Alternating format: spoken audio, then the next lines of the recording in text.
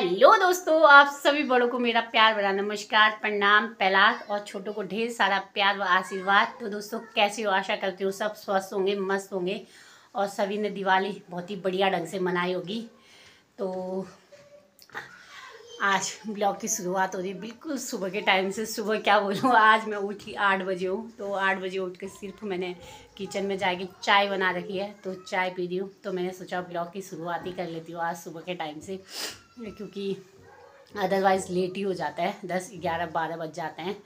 तो मैंने सोचा सुबह से कर लेती हूँ। आज चाय के साथ ब्लॉग की शुरुआत।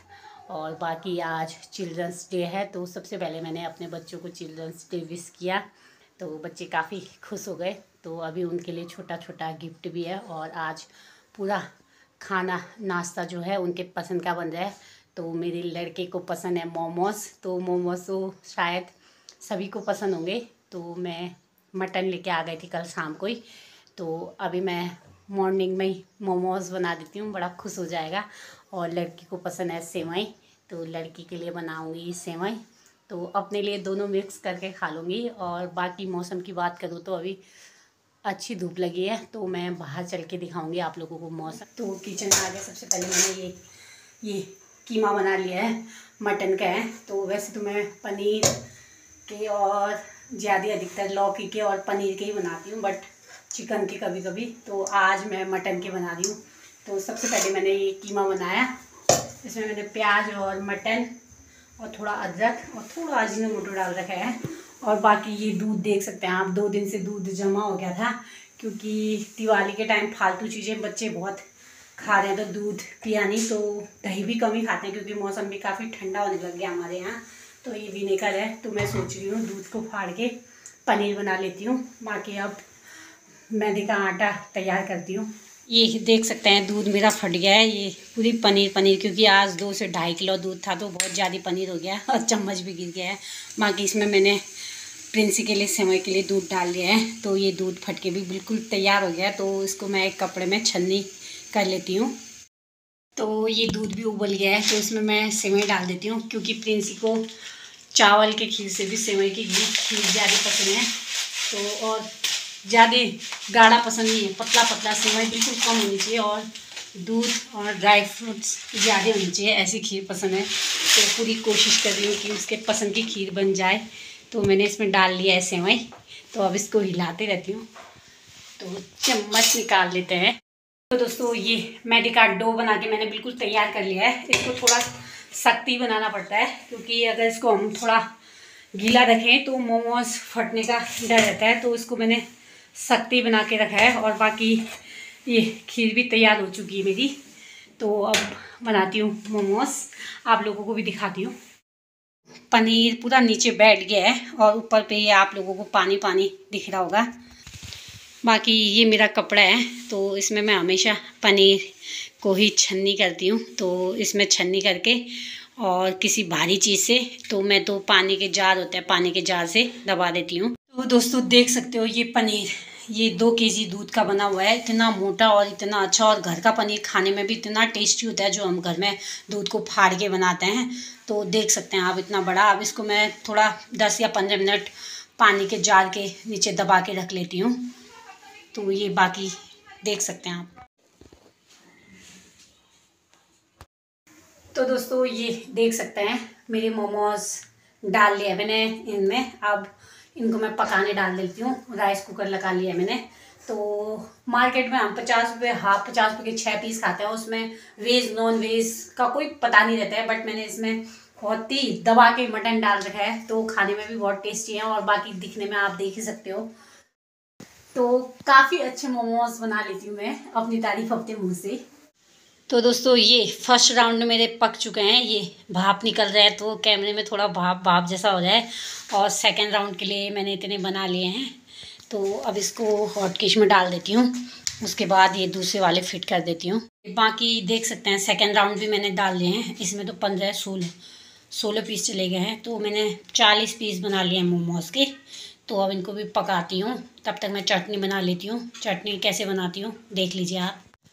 तो दोस्तों, चटनी के लिए सबसे पहले मैंने ये टमाटर के छिलके निकाल दिए हैं। ये देख सकते हैं। ये है लाल मिर्च, ये है नमक और ये है तिमूर। तिमूर को बहुत लोग नहीं भी जानते होंगे, पर जो गाँव से बिलोंग करता होगा, वो तिमूर को ज़रूर जानता होगा।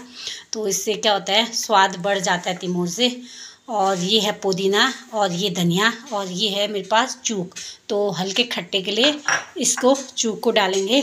तो बनाती हूँ चटनी। तो ये है दोस्तों बच्चों का सरप्राइज़ ये मोमोज फ़र्स्ट राउंड बन गए थे तो सेकंड राउंड अभी बन ही रहे हैं। तो देख सकते हैं chocolate Kinder Joy and toffee और ये मेरे प्यारे प्यारे दो बच्चे। तो कैसा लग रहा है? बहुत अच्छा। थैंक यू मम्मा जी एंड पापा जी to give this surprise miss you पापा जी। कैसा लग रहा है? इतने मोमो खा पाओगे? हाँ। हैं? हाँ। मेरा लड़का तो मोमोज का बहुत ही शौकीन है। शायद सभी बच्चों को पसंद होता ही है तो मैंने मटन के बनाए हैं तो इसको काफ़ी पसंद है। तो इतने तो आप देख ही सकते हैं इसमें। अदर अभी पक भी रहे हैं तो एक एक प्लेट में मैं अगल बगल के बच्चों को भी देती हूँ।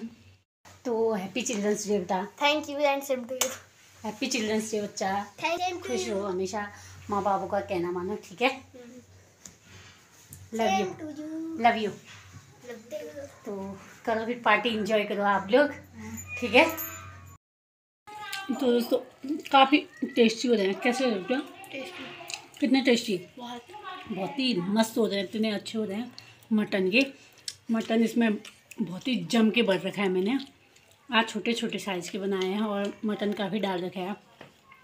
तो इन्जॉय कर रहे हैं हम चिल्ड्रंस डे तो दोस्तों शाम के पौने चार बज चुके हैं और बाकी मेरे पीछे देख सकते हैं आप कितने सुंदर फूल खिले हैं मेरे पड़ोसियों के खेत में। ये देखो, पीले, पूरे पीले पीले फूल इतने ज़्यादा खिले हैं और ऊपर ऊपर ये हाँ हजारी के भी थोड़े थोड़े खिले हैं। हजारी ये छोटा वाला हजारी है और ये तो इसकी तो जितनी तारीफ़ की जाए वो कम है। तो मैं फूल तोड़ने आई थी। फूल तोड़ने का ख़ास कारण ये है कि मेरे लड़के के दोस्त के घर पे आज उन्होंने घर बना रखा है ऊपर टॉप में तीन मंजिला तो आज कथा पाठ है तो वहाँ बुला रखा है तो मैं भी, मेरी पड़ोसी भी अभी जा रहे हैं। वैसे तो उन्होंने साढ़े तीन बजे आना बोला था। हम थोड़ा लेट हो गए तो ये फूल तोड़ रही हूँ। अब फूल तोड़ने के बाद आज जो मुझ पर फूल बरसाई जा रही है तो ये हो रहे हैं तैयार। तब तक मैं फूल तोड़ लेती हूँ। तो चलते हैं। वहीं आप लोगों को भी ले चलती हूँ भजन कीर्तन में। तो निकल गए हैं तो ये आगे आगे पड़ोसी जा रहे हैं। एक बार शक्ल तो दिखा दो। हाँ। तो ये प्रतीक भी जा रहा है क्योंकि प्रतीक का दोस्त है, इसके बिना तो कुछ होगा नहीं। बाकी फ्रूट हमने ले लिए हैं। तो आगे से अगरबत्ती लेते हैं। और मौसम की बात की जाए तो आजकल मौसम निसरा धुसरा हो रहा है, बादल छाए हुए हैं। तो काफ़ी ठंड बढ़ गई है, दिसंबर के बराबर ठंडा हो रहा है। मौसम कुछ इस टाइप से हो रहा है। ये है आर्मी इलाका, आर्मी स्कूल का मतलब।